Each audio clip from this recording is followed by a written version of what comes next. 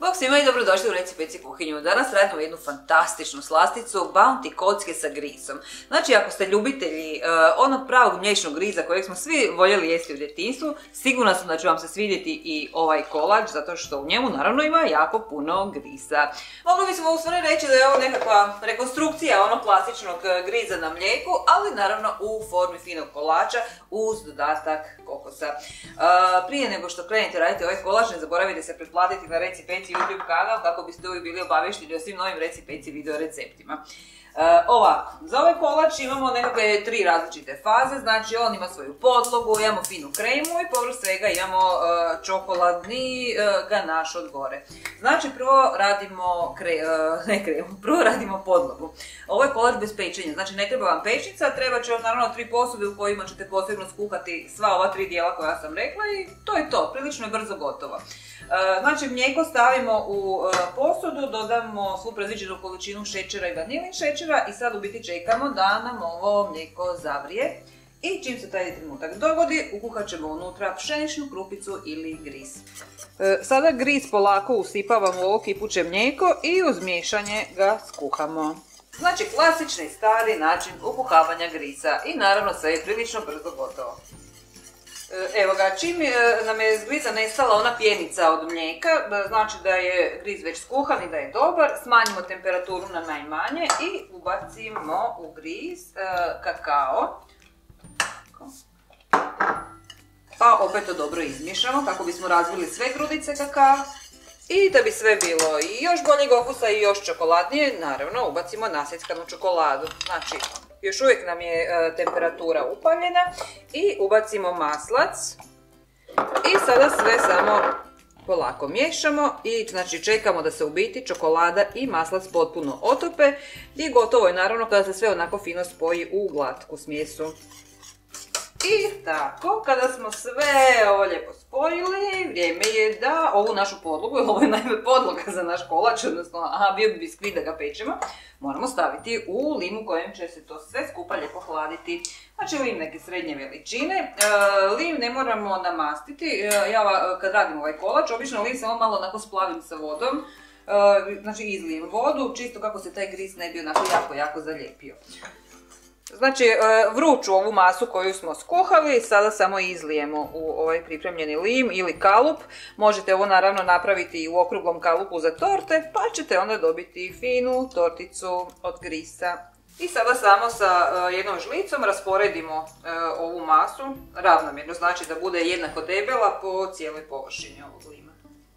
Tako, s ovim dijelom smo gotovi. E, ovu ću podlogu ostaviti da se ovako hladi na sobnoj temperaturi, a mi za to vrijeme idemo napraviti kremicu. Opet treba nam jedna posuda u kojoj ćemo kremu skuhati. Krema se radi na jako sličan način kao i podloga, samo sa malo drugačijim omjerima. Znači mlijeko izlijemo u posudu i opet kao i kod podloge e, dodamo mu šećer i vanilin šećer. E, sve ove namirnice koje ja danas stavim u ovaj kolač napisat ću vam dolje u opisu videa svakako, pa ćete ih naravno imati detaljno. Opet promješamo, sačekamo da nam ovo sve skupa provrije i idemo opet ukuhati gris. Opet gris ovako u tankom lazu, usipavamo u kipuće mlijeko zaslađeno prethodno i uz miješanje ga skuhamo. Nakon što nam se gris lagano samo zgusnuo, ne prejako jer ovo je ipak krema pa ne želimo dobiti onako jednu grudu griza, e, stavit ćemo unutra maslac i opet uz mišanje lijepo otopiti taj maslac. I kada nam se sav taj maslac utopio, dodamo unutra kokos. Tako, i opet sve to lijepo promiješamo i spojimo. I pustimo jedno dvije minutice da sve skupa lijepo prokuha da krema postane baš onako fino, fino, glatka i kompaktna. I kada smo skuhali kremu, jednostavno je prelijemo preko ove naše podloge koju smo već ranije pripremili.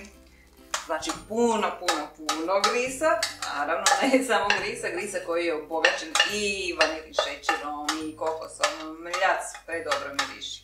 Evo ga, Poravnamo ako je negdje ostalo nekakvih neravnina i to je to. Sada opet ovo sve skupa ostavimo ovako na sobnoj temperaturi nekakvih 15 minuta, a za to vrijeme napravimo čokoladni preljev ili ganaš. Za čokoladni preljev ili ganaš opet pripremite si jednu manju posudicu, e, slatko vrhnje ulijemo i sada odmah u to slatko vrhnje stavimo i nasickanu čokoladu za kuhanje.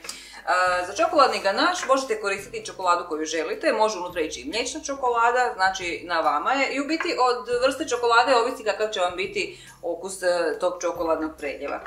Bitno je samo da se e, ganaš, bez obzira sa kojom čokoladom ga radite, da ne prokuha. Znači na laganoj, laganoj vatrici, polako uz miješanje zagrijavati to slatko vrhnje sa čokoladom dok se sva čokolada ne otopi. Sada kada nam se ovaj ganaš dovoljno e, ohladio i ova kremica ispod njega se e, dovoljno stisnula da možemo sve skupa ovako lijepo preliti. Prelijemo kolač i naravno poravnamo opet preko cijele površine. I evo ga, naš e, bamti kocke sa grizom su gotove.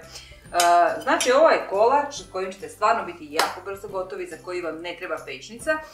Jedino se sad moramo malo strpiti da se ovo sve skupa jako dobro rasladi. Znači u hladnjak s njim na najmanje jedno dva sata kako bismo ga lijepo mogli rezati. Probajte napraviti ovaj recept što prije, stvarno je jednostavno, sigurna sam da će vam se svidjeti. Pišite mi naravno u komentarima kako vam se svidjelo, kako vam je uspjelo i da li ste možda nešto promijenili na njemu. U svakom slučaju, budete uz reci peci neki sljedeći put, vidimo se, bog društvo!